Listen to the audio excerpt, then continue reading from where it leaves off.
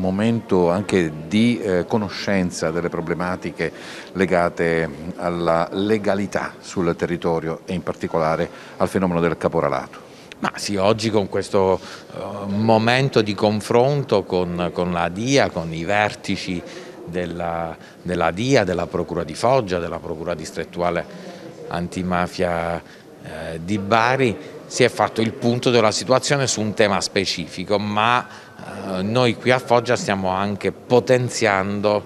provando a dare una sede ad alcuni uffici della direzione distrettuale antimafia con eh, l'Università degli, Studi di Foggia. Ecco, questo è un momento in cui c'è bisogno di la sinergia massima tra le istituzioni per sconfiggere il fenomeno mafioso che, dando, eh, che ha dato